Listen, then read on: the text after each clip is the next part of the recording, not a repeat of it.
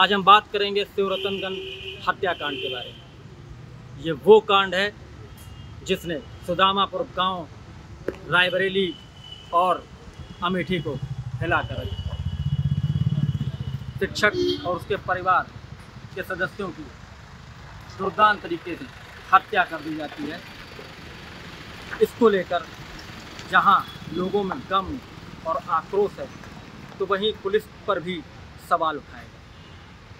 इस हत्याकांड की मुख्य केमिस्ट्री जो है, वो पूनम और आरोपी चंदन के बीच के रिश्ते की। बताते हैं कि ये केमिस्ट्री 2018 से शुरू हुई। उस दौरान पूनम ने रायबरेली के एक निजी अस्पताल में, जो कि नेहरू नगर में है, वहाँ पर जुड़वा बच्चों को जन्म दिया। एक बेटी, जो जिसका नाम समीक्षा रखा गया और एक बेटा बेटे की हालत ख़राब हुई। तो उसी दौरान उस हॉस्पिटल में लैब टेक्नीशियन के रूप में काम करने वाला चंदन, पूनम और सुनील के नज़दीक आ गया। मदद की गई, लेकिन बच्चे की ज़िंदगी नहीं बची। इस घटना ने पूनम को भीतर से तोड़ कर रख दिया। जिस पर उसको इस पल के लिए इस पल और इस मोमेंट पर अगर किसी ने सहारा दिया तो वो चंदन था। चंदन के दिमाग में क्या चल रहा था? ये ना उस दौरान पूनम जान सकी और ना ही शिक्षक राज सुनील जान सका। क्या नाम है आपका? दीपक सिंह। हाँ सुनील को जानते थे आप? जी। सुनील और पूनम के रिश्ते कैसे थे? गाँव में तो सुना ही पड़ता था अच्छे संबंध थे उनके। अच्छा कभी इन मामलों को लेकर उदास है आप लोगों से किसी तरह की बातचीत? नहीं ऐसी कोई सूचना हम लोगों को नहीं मिली है गाँव की तरफ़ से ना इनके घर वाले हम इन लोगों को कुछ बताया है। अच्छा क्या जो बताया जा रहा क्या सुन चंदन वर्मा गाँव कभी आया था क्या? आप लोगों को जानकारी हुई थी? नहीं ऐसी कोई जानकारी हम लोगों को नहीं मिली है। ना गाँव वाले बताए हैं ना गाँव इनके घर वाले कोई हमको कुछ बताया है। शिवरतनगंज हत्याकांड। लोगों के दिलों दिमाग पर काफ़ी दिनों तक छाया रहे। रायबरेली और अमेठी का ऐसा हत्याकांड है जिसने लोगों को भीतर तक हिला दिया है। जब कभी भी इस कांड की बात आएगी तो लोग हिल जाएँगे। बात हो रही थी पूनम और चंदन के रिश्ते की। 2018 में जब पूनम ने जुड़वा बच्चों को जन्म दिया और वहीं से चंदन से उसकी नज़दीकियाँ बढ़ी चंदन एक सातिर दिमाग का व्यक्ति था। उसने पूनम के मनोवैज्ञानिक ढंग से पूनम के दिमाग को समझा, पढ़ा और जिस समय पूनम को किसी के साथ और संबल की ज़रूरत थी तो चंदन ने तुरंत उसको साथ, उसका साथ दिया और उसके बाद ये घटनाक्रम धीरे धीरे बढ़ता चला गया। दोनों के बीच की नज़दीकियाँ बढ़ती चली गई। इतनी नज़दीकियाँ बढ़ती चली गई कि जो पूनम का पति सुनील था उसको इससे एक अजीब तरीके का आक्रोश मन में पनपने लगा हालाँकि सुनील ने कभी इस चीज़ को ज़ाहिर नहीं किया। ना ही परिवार के सामने ना ही अपने दोस्तों के सामने और ना ही पूनम के सामने। असल में क्या आप सुनील को जानते थे जी हाँ।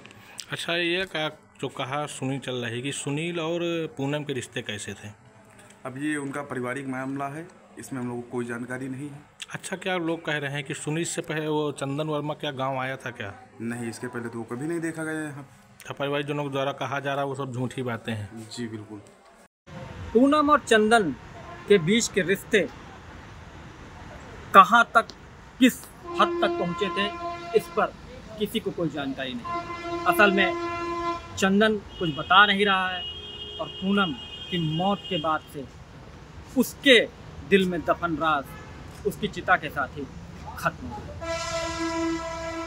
सुदामापुर गाँव में भी इसे लेकर चर्चा खुलेआम तो नहीं है, लेकिन तभी ज़ुबान लोग दोनों रिश्तों पर सुबुगाहट कर रहे हैं।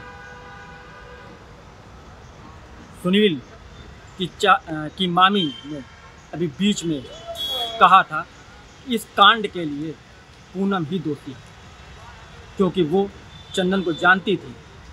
सुनील तो बेकसूर मारा गया। उसने कभी भी परिवार को इस बारे में नहीं बताया। सुनील के दोस्तों का भी कहना है कि सुनील कभी भी अपने जीवन की गहराइयों को नहीं बताते। दाम्पत्य जीवन में क्या चल रहा है, उसके बारे में भी वो कभी नहीं बताते थे। वो बहुत शांत रहते थे, लेकिन हाँ भीतर ही भीतर वो घुट रहे थे, क्योंकि वो चंदन और पूनम के रिश्ते से बिल्कुल नाखुश थे। इसी तरह पूनम की माँ कृष्णा ने भी एक बयान जारी किया था कि पूनम को जबरन चंदन पाना चाहता है। नवरात्र पर एक ज़मीन का शिलान्यास होना था जिसे सुनील ने खरीदा था और उसमें चंदन गवाह था। लेकिन बताते हैं कि चंदन चाहता था कि ज़मीन पूनम के नाम पर जबकि सुनील के दिमाग में कुछ और सुनील से आप परिचित थे? अरे बचपन से जानते थे उनको हम। अच्छा आपके साथ पढ़ा पढ़ा था क्या वो? नहीं हमसे काफ़ी बड़े थे लेकिन जानते थे बहुत पहले से। अच्छा जो क्या कहा जा रहा है कि आप उनके पड़ोसी हैं ये बताया जा रहा है कि सुनील और पूनम के रिश्ते कैसे थे? अब उनके रिश्ते के विषय तो नहीं बता सकते लेकिन अब जो सुना जा रहा है वही जान रहे हैं हम लोग। अच्छा क्या सुनील इसके चंदन वर्मा इससे पहले गाँव आया था क्या कभी? आया होगा लेकिन हम लोग को जानकारी नहीं है। चार साल पुराने इस रिश्ते में परिवार के सदस्य गहराइयों को नहीं जानते चंदन हर हाल में पूनम को पाना चाहता था। उसके लिए उसने सारे हथकंडे अपनाए।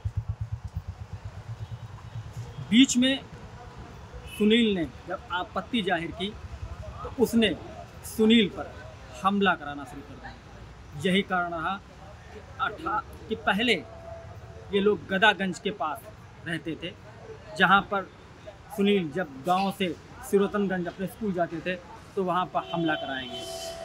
इसकी रिपोर्ट गदागंज थाने में दर्ज हुई, लेकिन पुलिस ने कोई कार्रवाई नहीं की। उसके बाद इंदिरा नगर में मकान लिया और वहाँ भी सुनील आधमका, जिस पर परिवार को इंदिरा नगर छोड़ के फिर सुदामापुर गाँव जाना पड़ा और सुदामापुर गाँव में भी चंदन आ गया। इसकी कहानी इतनी दिलचस्प है, इतनी सस्पेंस भरी है कि जिस पर परिवार के लोग भी नहीं जान सके कि चंदन आखिर घर क्यों आया। उस दौरान तो ये समझा गया कि ये सुनील का कोई जान पहचान का शख्स है, लेकिन नहीं, उनको मालूम ही नहीं था कि चंदन की मुलाकात, चंदन की जानकारी, चंदन का जो कनेक्शन है, वो पूनम के साथ जब 18 अगस्त को पूनम ने चंदन को एक निजी अस्पताल में मारा उसके साथ छेड़खानी की। जब विरोध किया गया तो सुनील को भी के साथ ही मारपीट की गई। मामले की तहरीर सदर कोतवाली में दी गई, लेकिन पुलिस ने कार्रवाई नहीं की और एक सौ इक्यावन के तहत चालान कर चंदन को एक क्लीन चिट दे दी। इसके बाद चंदन के हौसले और बढ़े और वो शिवरतनगंज पहुँच गया, जहाँ पर सुनील और उनका परिवार किराए के मकान में रहता है बताते हैं कि चंदन बीच में, चंदन काफ़ी नाखुश था। सुनील के साथ भी और पूनम को लेकर भी। क्योंकि पूनम किसी भी तरीके से सुनील को नहीं छोड़ना चाहती। जबकि चंदन चाहता था उसे छोड़ना हो।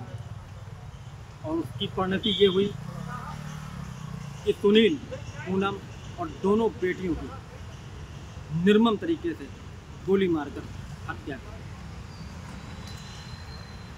बहुत सारे रहस्य अभी भी कायम हैं, जिनका खुलासा होना बाकी है, लेकिन इतना तय है कि चंदन और पूनम की नज़दीकियों ने ये इस बड़े घटनाक्रम को अंजाम देने में महत्वपूर्ण भूमिका निभाई है।